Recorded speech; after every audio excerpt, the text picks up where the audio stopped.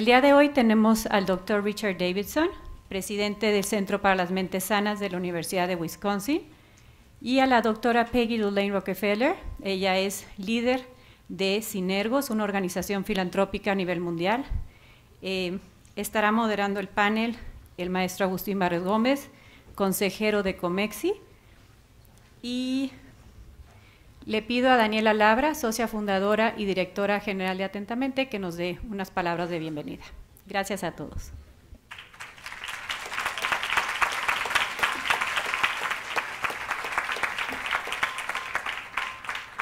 Pues buenas noches a todos.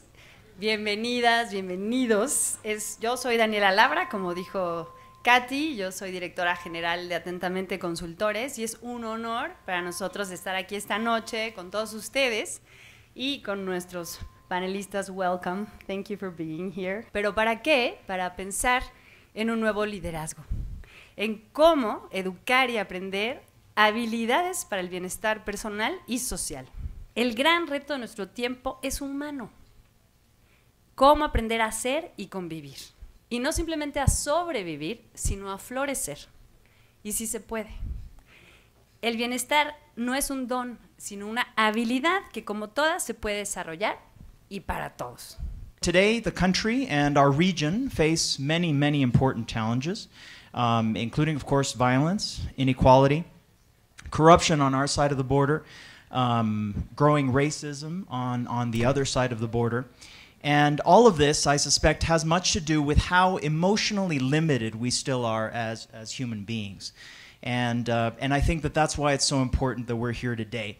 So in Mexico, thanks to the good offices of many people, many of those actually here represented in civil society, at the UNDP, at our Ministry of Education, we've taken a step towards giving people those tools for socio-emotional learning, what's known in the trade as SEL, why all the hoopla? What, how do we know that this works? And what are we looking for when we talk about SEL?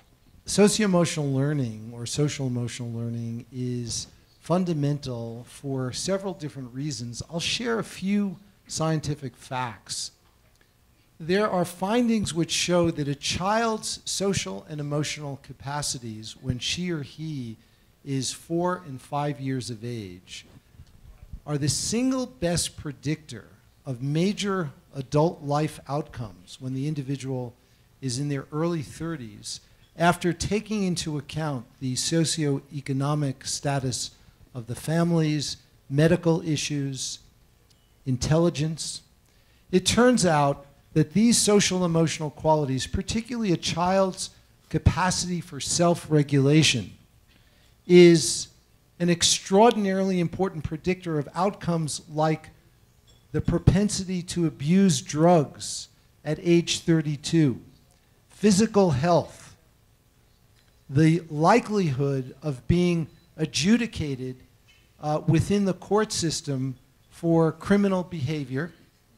And finally, data show that individuals who have a greater socio emotional capacity at this age actually end up as young adults to earn more money. So these qualities really matter. And one of the qualities which is so important for social emotional learning is attention. Uh, and attention is the building block for all other forms of learning. In a recent study published in a very prestigious so scientific journal the in the United States, it was found that the average American adult spends 47% of her or his waking life not paying attention to what they're doing. One of the things that we've learned in modern science is that these qualities can actually be educated. And this is why I think this, this conversation is so important. And it turns out there's a, a meta analysis, which is an analysis of many studies that was published a few years ago with uh, a sample size that was greater than 280,000 children. And what it found is that social emotional learning, uh, social emotional education actually produced increases of 11% on standardized test scores. If we are going to be leaders, if we're going to be our best person out there in the world, doing our best to do our work, be good family members, help improve the world, we need to overcome those things that distract us from being present. And the kinds of workshops and events that we've been doing over a period of about 15 years turn out to enable people to, first of all, recognize what those obstacles are. Often they express themselves as fear, which I view as the opposite of love, or shame, in which one feels one doesn't even deserve to exist. And those things make us want to hide. What we need in the world now, and this is the embodiment, in my view, of, of uh, SEL, is people who are willing, they have the self confidence, they are trustworthy so that other people trust that they're being authentic and real. And they can go out in the world and reach out across divides.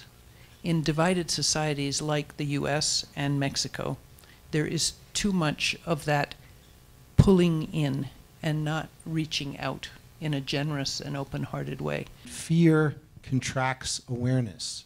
It literally contracts awareness. It, uh, it uh, puts blinders on people so that they uh, focus more exclusively on their in group.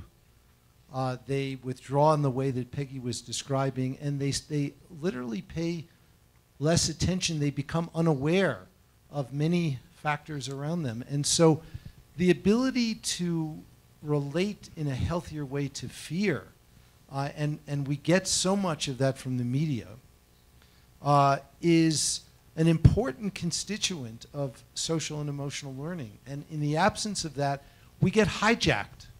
And so rather than being the rudder, the driver, the, the steerer of our own mind, we allow our minds to be swept away like a sailboat in the middle of a turbulent ocean that has lost its rudder. That is uh, what happens to the mind when it is not trained in this way. And that leads to a lot of problems. But the good news is that the very mechanisms in our mind and our brain that allow us to be hijacked, these are mechanisms of neuroplasticity, are the same mechanisms that we can use to wake up and to transform in ways that are healthier. Well being is best regarded as a skill, and we can learn well being. One of the really interesting things about well being that I want to mention in this little um, discussion here is that well being is not simply a subjective psychological quality, but well being matters for many other things. It matters for our social relationships, and it also matters for our physical health. I think a start is um, to begin to relate to each other in a different way. And I'll just talk about the US because I live there. The polarization that's existing right now in the US is so destructive. And a lot of people, fortunately, are beginning to realize this and beginning to realize that the polarization comes from many factors, including fear, by the way, um, and is being fomented, unfortunately, by different groups.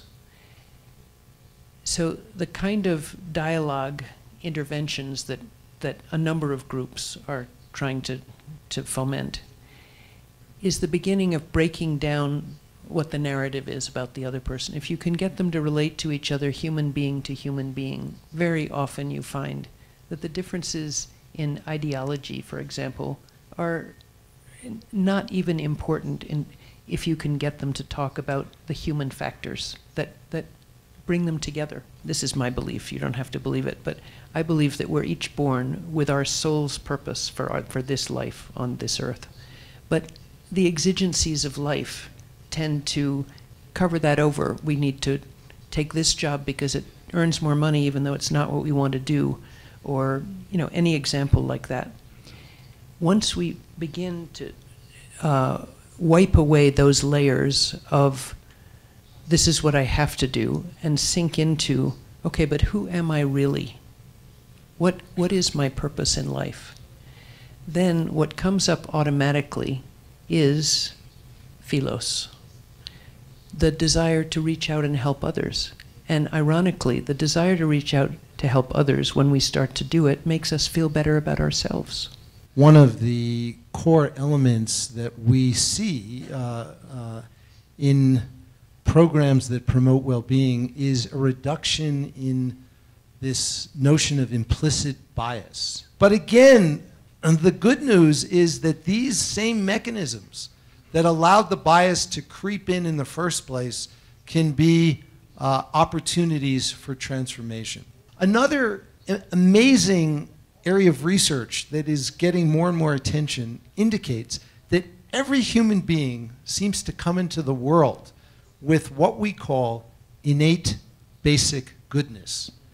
Innate basic goodness. These kinds of data suggest that we really do have this preference for pro social behavior, for generosity. And the single most powerful way to activate circuits in the brain that are important for well being is through generosity. I like to think of the social tapestry as the writ large, as what our society looks like. And if you break it down into each thread, crossing each thread, the way a social tapestry holds together is if there are forces, meaning people, at each of those intersections who are strengthening the social bond, the social capital. You need it in communities, you need it in families, you need it in cities, you need it in the government, you need it in the business sector, in civil society, in religious organizations. However, in today's complex society, what you need even more than those individual intersections is those larger ones across those different sectors. And I think in Mexico, as in the US, there's a lot of trust that's been broken or that's been never developed across those sectors. So, one of the things that I think is really important is that we, in whatever capacity we come here in, whether we're a business person, a government person, media, civil society, etc., that we begin to think okay, who is in my ambit, who's in a different position than I am, who I could begin talking to, begin trying to understand their perspective. I think there is an intervention to be done, and I think that we have a moral obligation uh, as modern societies to, uh, to engage with these issues in a very serious way because the very future of uh, our civilization and our planet as we know it will depend on, uh, on exactly these issues. Uh, I see, despite all of the um, uh, difficulties in uh, this country, in the United States, and in many parts of the world, I see lots of hopeful signs. Uh, uh I think that uh, we are recognizing the, um, the challenge of the course that we are currently on. And I think that one of the most important elements here is being able to envision what a future will look like that is different. And I think that it's very important not to allow the problems in our societies today to bring us down, to see that there is an alternative mode of being that is absolutely possible, that each of us can adopt. And having that vision is part of what will allow us to, I think, transform in these ways.